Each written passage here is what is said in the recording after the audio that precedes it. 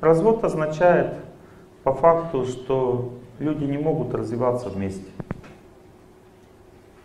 А чаще всего, почему это происходит? Потому что они неправильно жили. Часто люди думают, что отношения должны сами поддерживаться. Отношения сами только портятся.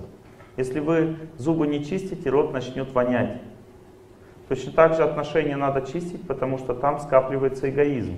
Как отношения чистятся? Они чистятся с помощью раскаивания, прощения, с помощью служения близкому человеку. Они чистятся с помощью освящения пищи, с помощью алтаря в доме чистятся, с помощью молитвы по утрам, с помощью воскрешения светлой памяти о человеке в своем сердце, несмотря на все, что было. Преодоление вот это чувство, что было. Прощение означает очищение отношений. Часто люди думают, что вот то, что было, это то, что уже не поменять. На, на одни и те же грабли два раза не наступают.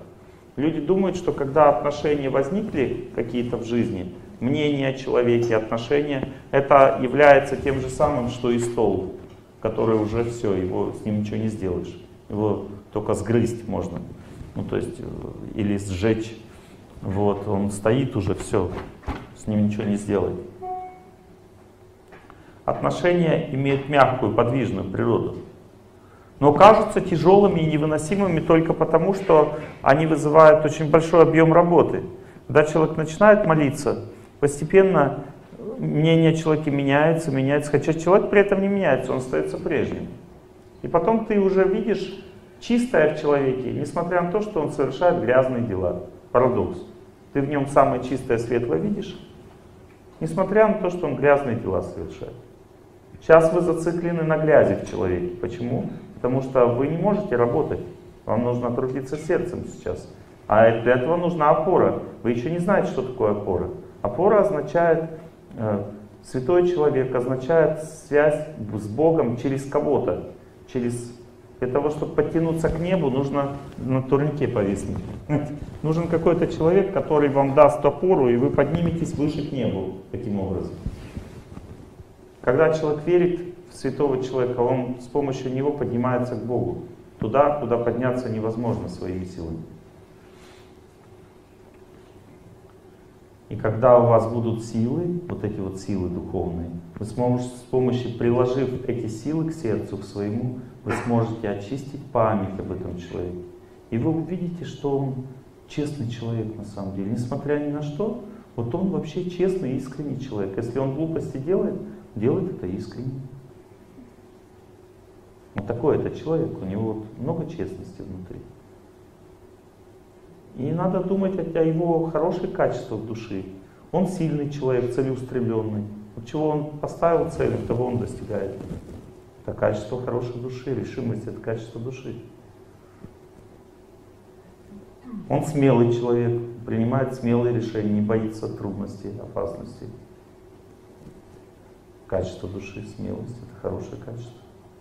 Когда вы об этом начинаете думать, вы э, так внутренне в сердце ручку поднимаете и говорите, живи, человек, живи своей чистой жизнью, ошибайся, иди своим путем.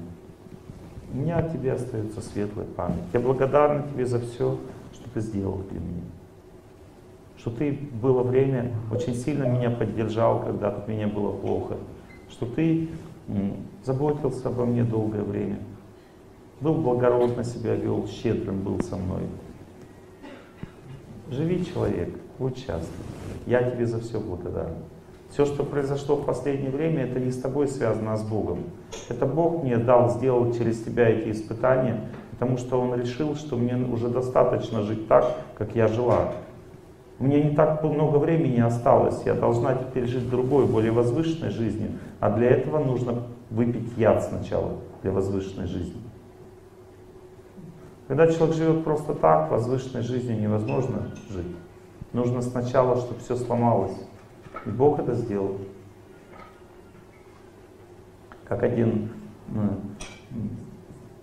шел по берегу, несчастный человек, и ему хотелось быть счастливым, и он нашел бутылку с джином, потер бутылку, туда вышел джин, и он сказал, слушаю, повинуюсь, говори, все, что скажешь, я сделаю.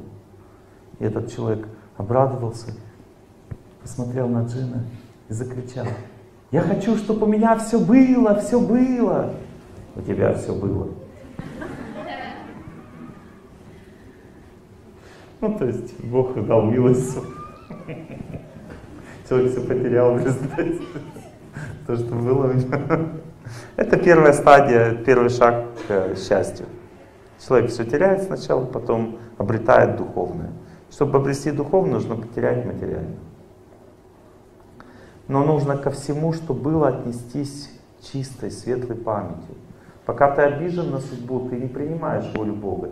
Новый шаг в новую жизнь ты не сможешь сделать, пока ты обижен на то, что произошло.